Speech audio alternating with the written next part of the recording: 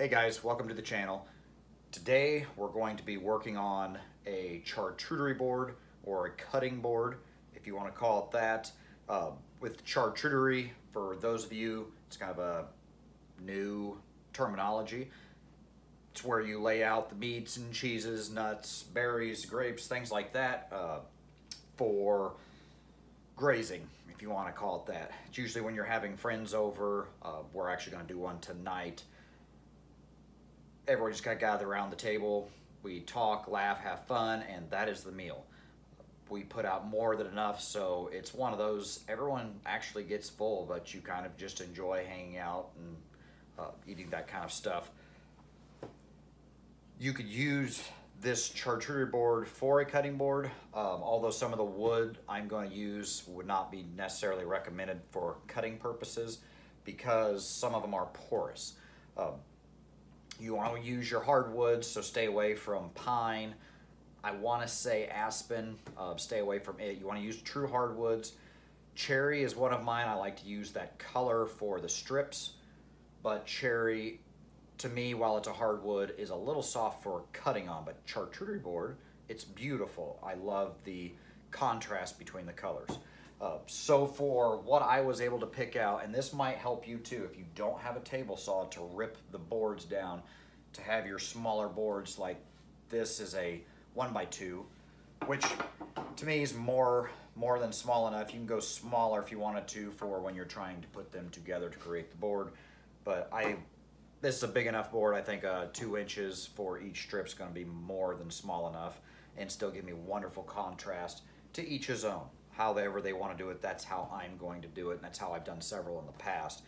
Now, they were out of, it was, I could not find walnut anywhere, which is one of the boards I like to use for my dark contrast and then get my red from my cherry, but they were out of walnut, they were out of cherry.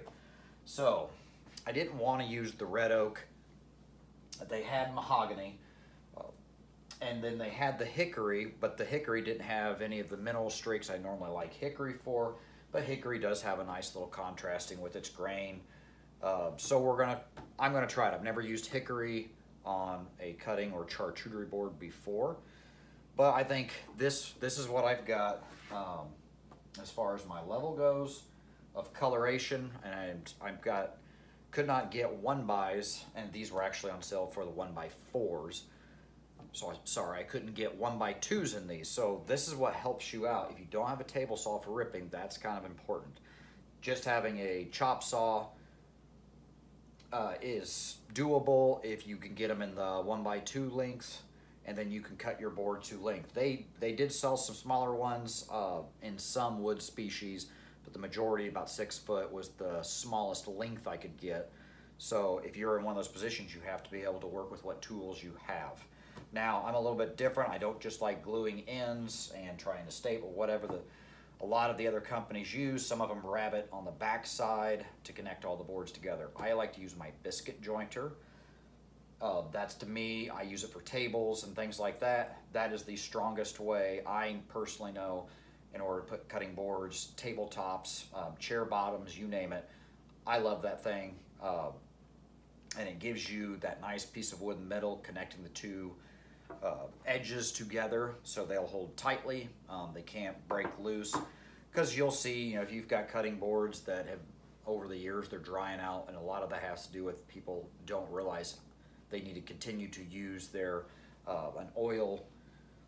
Uh, it's usually a cutting board or butcher block oil, and that needs to be done about monthly actually, uh, in order to keep the wood somewhat moistened from drying out and keeps that seal to it.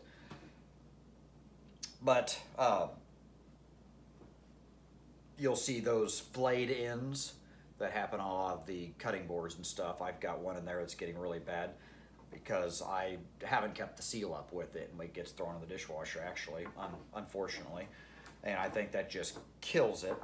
Um, but anyway, on, so do some research on what boards you would like to use. I always recommend those um, hardwoods that are not open grain, so they don't have the pores for food, particles, things like that to get stuck in. Uh, with a charcuterie board, it's not going to be a big deal. You're not cutting on it. Um, and you, you, can jump into some other woods as well with a charcuterie board because as long as you're not cutting on it, um, you won't have to worry about you know knifing into it. If it's just for more decoration, don't worry about your softer woods. But anyway, I'm gonna get to work. I've got to start ripping these down, and we're gonna see how far we can get today with getting these at least set up, glued together. I'm actually going to try to just get, I'm gonna get all these glued together as is, and the eight foot length that they all are. I'm gonna rip down these three um, and then biscuit join all of them. And then I want that to sit for probably three or four days. I'm kind of big on getting it to sit as long as I can. Um, I mean, seven, seven days is absolute max. You don't need to go that far, but uh, my garage is not 100% climate controlled by any means. I know some people would say, oh, 24 hours are good to go. Read your bottle too. Every glue could be a little bit different. So I've seen some at 24 hours. I've seen some at 36 hours. So I just like to let it, see them sit three days and continue to acclimate before then I'm going to come through with my table saw and actually cut the boards out. Because I'll do about four boards with these eight footers uh, make them two foot a little less than two foot length a piece I haven't decided yet as far as length this is 16 inches. I've been looking I wouldn't mind having them 18 inches so I may only do three boards and then add in a couple extra pieces. But we'll see where we go with it. Um, but thank you for watching already. Um, please like and subscribe if you kind of like these videos. I do a, a lot of random stuff. So here's to it. Let's see if we can get these guys done. You guys have a good day.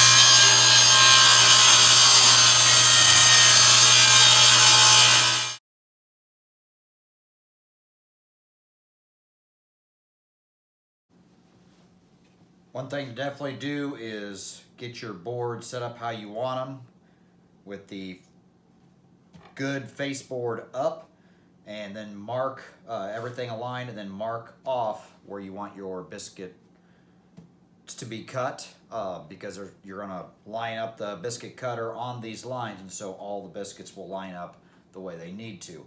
I'll also have these numbered at the end so I'll know exactly how they go back together I'm going about every six inches. Um, put it on my older style square. Due to my big square won't actually fit between my clamps here. And I will move these clamps down as I work, get all these marked, um, and I have to do the other part of the other side where the clamps are at sometimes is not that easy, but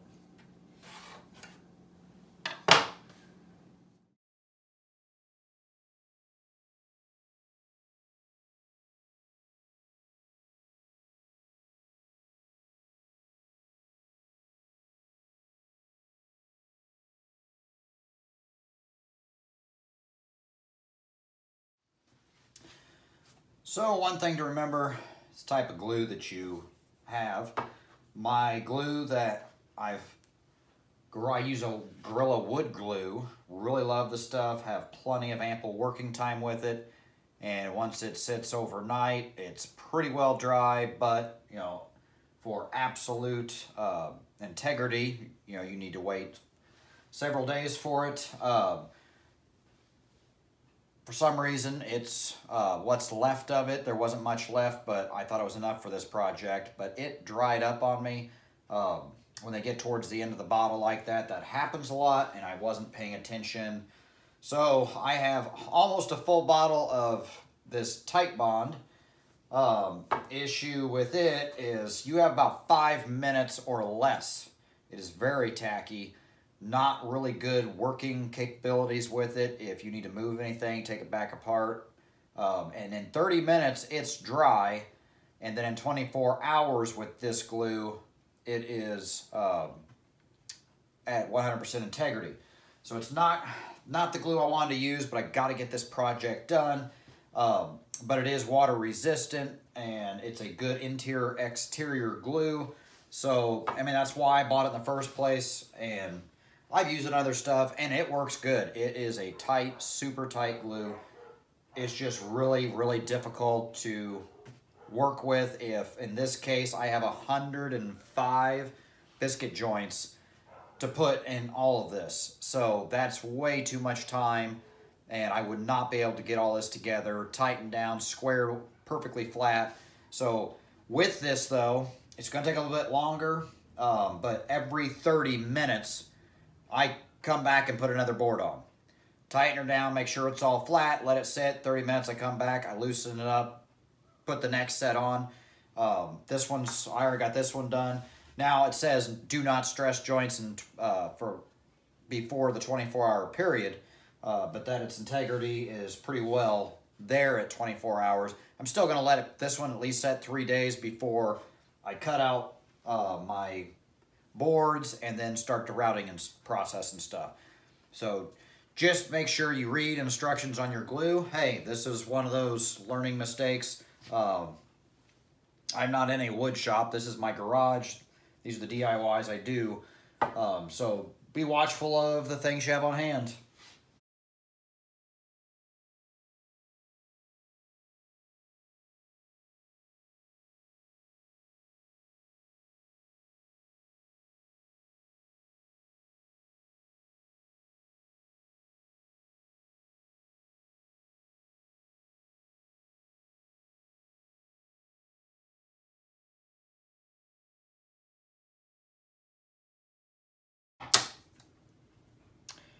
All my lines is where the biscuits are at. So you want to make sure if you're in the same position, use the biscuits. You got to cut away from those lines. I do not have a sled for my table saw with this long of a board. It's really easy to tweak it, so I'm going to just rip it with a small circular saw, and then I will uh, nicely finish the ends with the table saw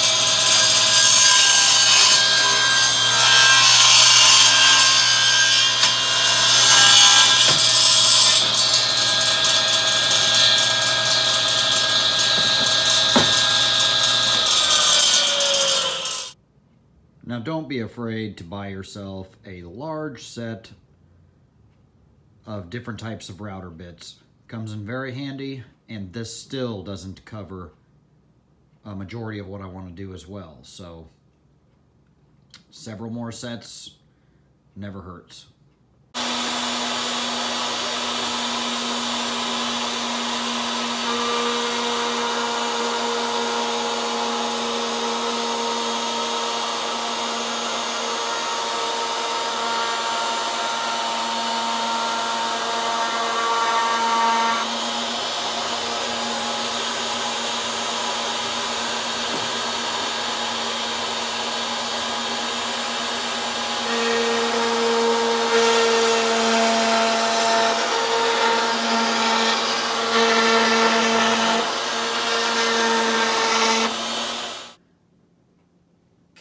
all four of my boards. Um, this is a drip edge. It's what I call it, drip groove. Um, I went ahead. I like the design of just going straight through, and it's a heck of a lot easier because trying to hit the edge perfectly, then come back so that way it stays contained, then you usually do a deeper one. Uh, this design here, I'm not digging deep into the wood and it's more for accents, but it does make it nice that if someone uses it as a cutting board or something on the charcuterie board is dripping, you know, it'll hit these edges and keeps it from rolling off. Now, obviously, if it's a lot more liquid than what the edge can handle, it's going to go all the way to the end, drip off. But, um, believe that's a quarter inch V-groove bit is all I was using. Uh, just set pretty shallow. I just wanted to make a nice, attractive line, give some character for when the oil gets rubbed on.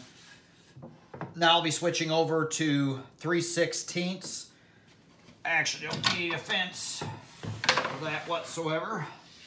I was playing around and testing it. So it's a 3 16ths round over. This one's the eighth inch.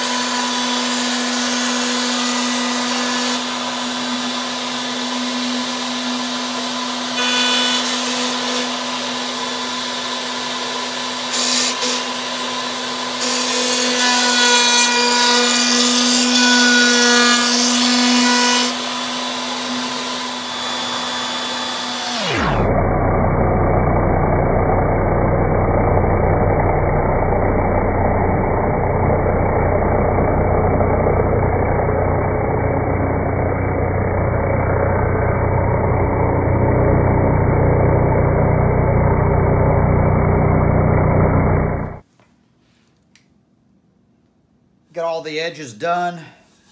Uh, went down, did a final sand or a second to final sand. Uh, just want to smooth. You want to go through all your edges, make sure everything's good. Uh, I will sand probably this area here once I get done. So going to put uh, just initial the last name on these boards of every couple I'm giving it to. So just found some stencils and then uh, kind of did a semi-trace, copied over, uh, and then I'm going to burn this in.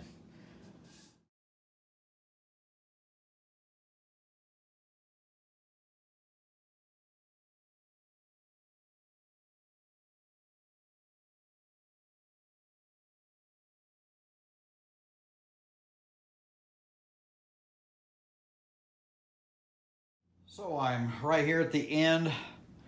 And yes, there's some holes here. Um, I'll want to put handles on these since it's a charcuterie board more than it is a butcher block. I definitely wanted uh, to have handles on it to carry the food around. Uh, I am using butcher block oil and finish.